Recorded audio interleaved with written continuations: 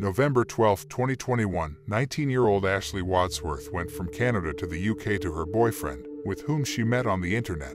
The girl was overjoyed that after many years of online communication, she would be able to see him. However, no one could have guessed that this happy meeting would turn into a tragedy. Ashley Wadsworth was born on July 25, 2002 in Vernon Township in British Columbia, Canada. She was the daughter of Kenneth Wadsworth and Christy Gendron and had an older sister named Haley. The Wadsworth family was large and close-knit, consisting of over 50 people, including cousins, uncles, and aunts of varying degrees of kinship. They all lived in the same community. Ashley was a cheerful, outgoing, and energetic girl, so she was popular and had many friends. She loved outdoor activities such as swimming, horseback riding, and skiing. Ashley also had a passion for tennis and played the clarinet. She was also very active on social media, constantly sharing memes, jokes, and photos. It was in social networks that Ashley met Jack Sepple. Their acquaintance took place in 2015, when she was 12 years old and he was 15. It is known that Jack was born on January 9, 1999, and his mother Tracy Dalton was married to a man named Ricky. As for his father, who passed away in 2019, the relationship with him was reportedly strained. As for the rest of Jack's family members, he did not communicate with his brother Jordan, but he did communicate with his sister Nadia. Aside from his mother and sister, Jack didn't have many close people he interacted with, preferring to interact only with people through the internet and video games. According to some of Jack's acquaintances, he often got into trouble at school, although they remembered him as a fun, charming, and boisterous kid. They also talked about his dark side, which showed up when he was angry and spewed aggression at himself and others. It was a friend of Ashley's who interacted with Jack through social media that introduced the two young people. As for many other teenagers, it was natural for Ashley to connect with strangers through various platforms and form virtual friendships, whether they had common interests or were just attracted to each other. Jack and Ashley quickly became virtual friends. At the time, she did not have a smartphone and used the family computer to access social networks. So, friendship with the Englishman was never a secret for her relatives, according to Ashley's mother. During their long-distance friendship, Jack had several relationships with different girls, and Ashley also went through a typical teenage experience. Despite the periods when they stopped communicating, the connection between the young people never completely disappeared, and they continued to communicate over the years. As Ashley and Jack grew older, their relationship changed. They began communicating not only on social media, but also through video calls. As a result, their relationship became more intimate and romantic. Soon, Jack became a familiar face to Ashley's family members. If they passed by when the guys were talking, they usually greeted him as if he was actually in their living room. He also sent the girl gifts of teddy bears and purses on numerous occasions. Ashley's family and friends said she was forever comparing every boy she met to Jack because of the eight-hour time difference between Vernon and Essex, where Jack lived. The young men woke up too early and went to bed too late to be able to talk. In 2018, when Ashley was 15 years old, she began to show interest in seeing Jack in person. However, her family would not allow her to travel alone to another continent. Periodically, like any pair of young people, they quarreled. If those fights resulted in Ashley blocking Jack on her social media accounts, he would create new accounts or send her messages through his sister or acquaintances. This was disturbing and intrusive to the girl's loved ones, but she insisted that he was a compassionate and good-hearted man. In October 2018, Jack got Ashley's name tattooed on his arm. At that time, she was 16 years old and he was 19.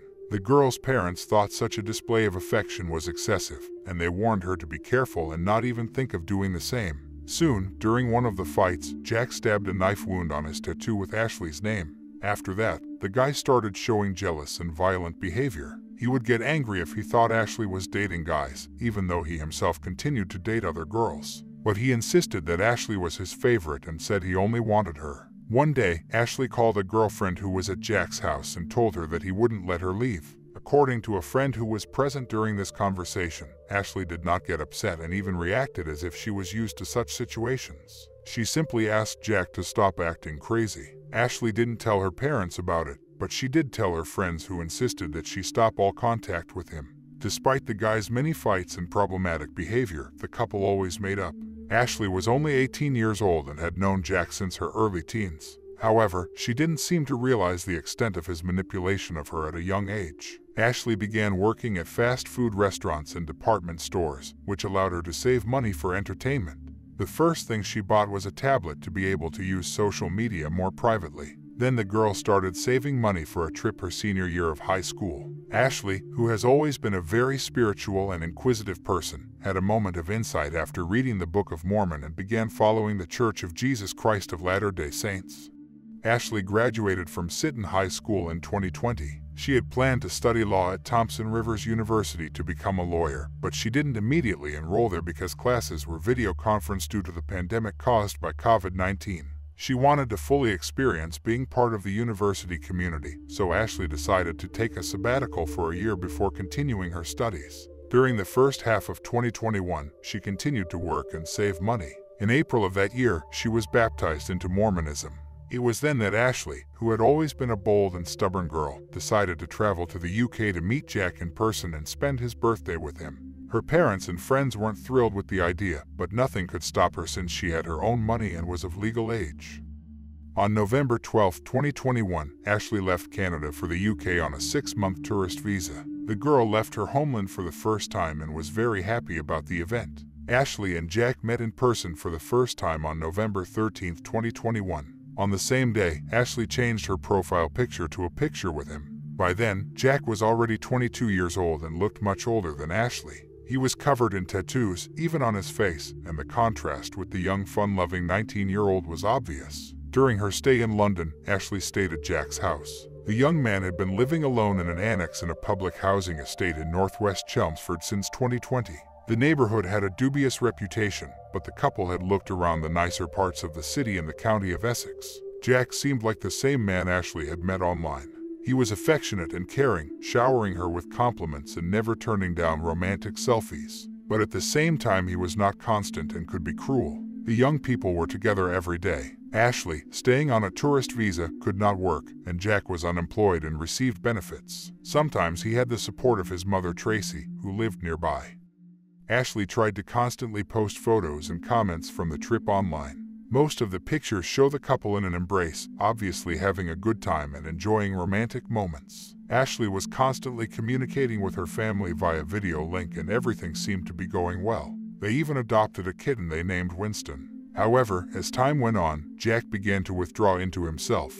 He no longer wanted to go for walks and sightseeing, preferring to stay home, smoke illegal substances, and play video games while in a foreign country. Ashley could do little on her own, even though she loved being outdoors. Her options were limited to what Jack wanted her to do.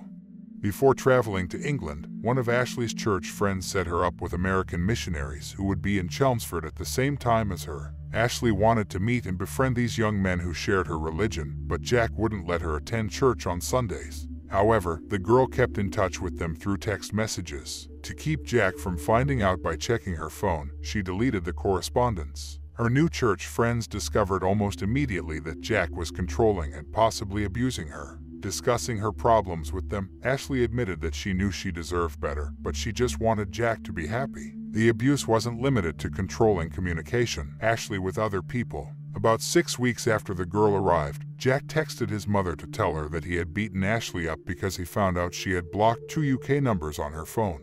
He decided they belonged to other men a few years ago, which triggered a jealousy attack. Although Ashley continued to show photos of her seemingly perfect trip on her public social media accounts, she created a secret profile where she began documenting her bruises. Ashley didn't hide the abuse from her sister Haley, but threatened to cut off communication if she told her mother, as she didn't want her family to hate Jack.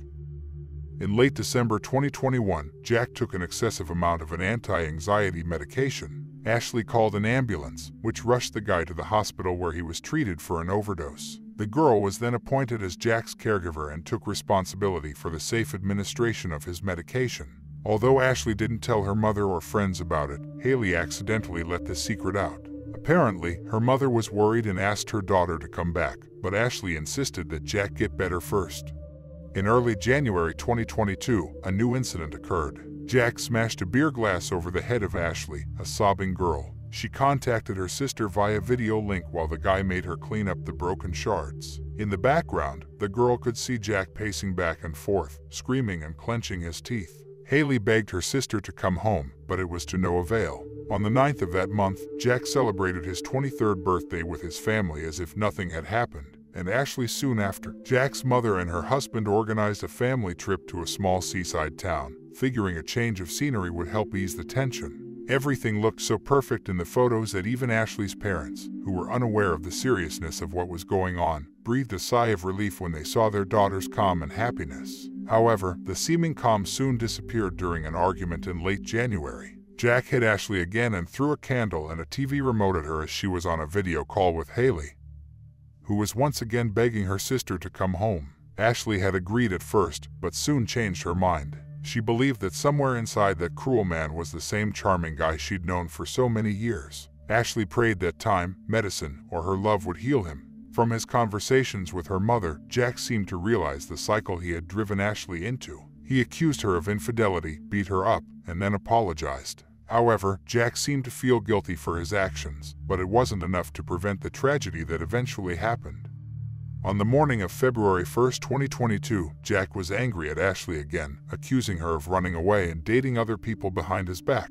He even demanded that she show him her cell phone and check all of her social media accounts. Shortly before 8 a.m., neighbor Helen Bortonshaw heard Ashley screaming through the shared wall, and a few minutes later, the woman appeared at Jack's door. When the door opened, Helen saw a barefoot and crying Ashley with blood dripping from a cut on her palm. Ashley revealed that Jack had caught her looking at nude pictures of the woman and had become enraged. He verbally abused her, then punched and smashed her phone and threw her kitten at the wall. Despite her fears that Jack was trying to kill Ashley, she asked Helen not to call the police. Helen agreed, but begged Ashley to go with her to a doctor's appointment instead of returning to her partner's apartment.